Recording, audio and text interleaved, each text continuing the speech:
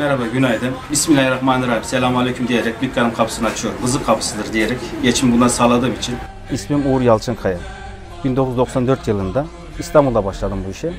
İlk ustalarım Sultan Hanlı. Bu işleri onlardan öğrendim. Yavaş yavaş çıraklık, kalfalık derken ip sökme, hava atma, tamir yapma. Yavaş yavaş bu mesleği ilerlettim. Şu an 94'ten bu yana kadar işte kaç sene geçtiyse bu işte ekmek yiyorum. Bu işte ailemi geçindiriyorum.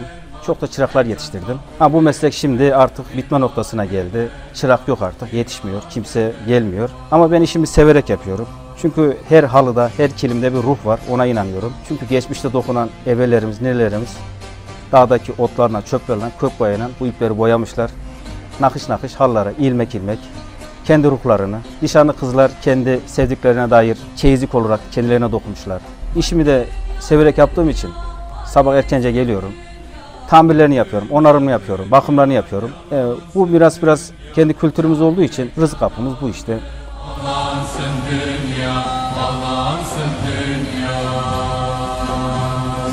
Vay dünya dünya Fanisin dünya Vay dünya